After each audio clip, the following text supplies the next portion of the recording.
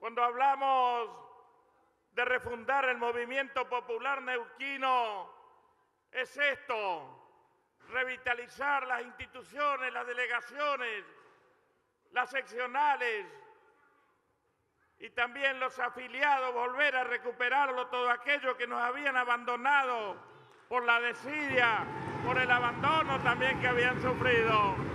A todos los compañeros del movimiento popular neuquino, los que nos votaron y los que no nos votaron porque participaron con una idea y es respetable.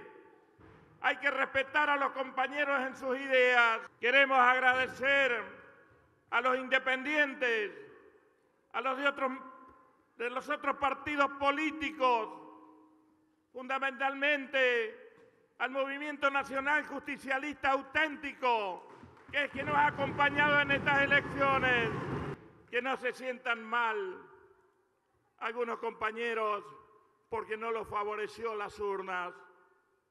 Este es el juego de la política.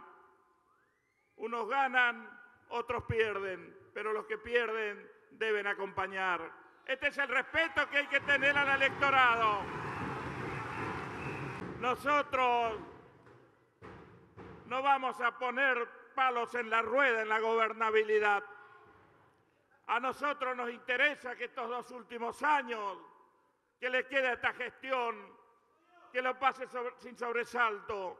Lo vamos a acompañar, vamos a ser críticos, pero lo vamos a acompañar.